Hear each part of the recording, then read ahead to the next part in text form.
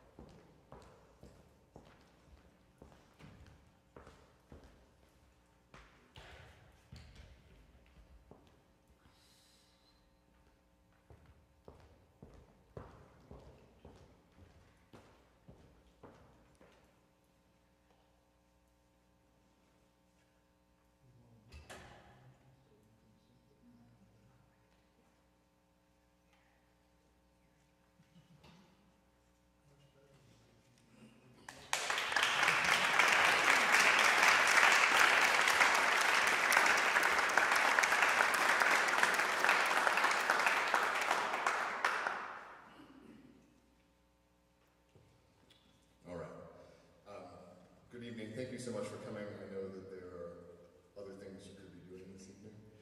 Um, We could have a game show element if we wanted, but got some beautiful music to get through. I wanted to talk to you just a little bit about the program tonight. Um, The subtitle, which probably doesn't appear in your program to this, is Some Borrowed Voices. So everything in this program has a connection to either the voice or the fact that it's stolen from some other instrument. So this opening set of songs, um, while it is actually written for the bassoon, it appears in a version for French horn, and I actually think that a lot of the writing, if there are any French horn players in the audience, this would be work really great on the French horn. It's probably more apt for the horn than it is for the bassoon. But it's a great piece. In fact, the opening says in the distance like a French horn. So right off the bat, even though it's a bassoon piece, it's really a French horn piece.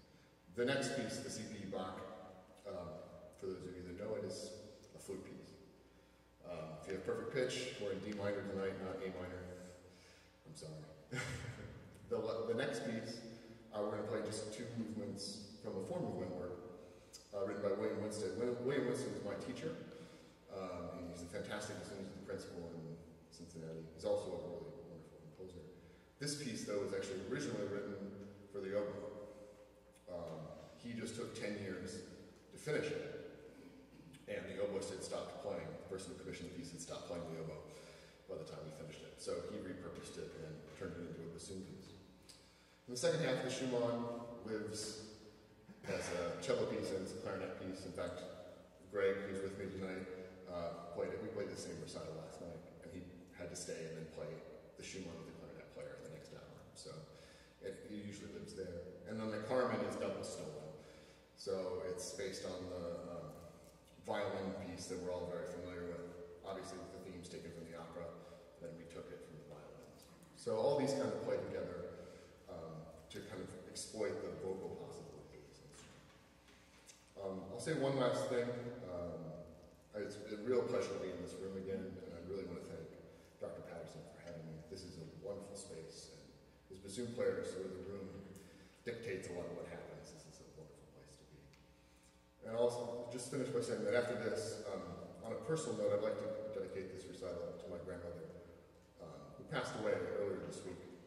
Um, she was my biggest supporter as a musician, and probably the reason I'm on stage here today, um, both financially and just um, spiritually. And she was a great lover of Bach. So while her favorite was J.S., we're going to leave her with one of her sons. And um, so this is for her. Thank you very much.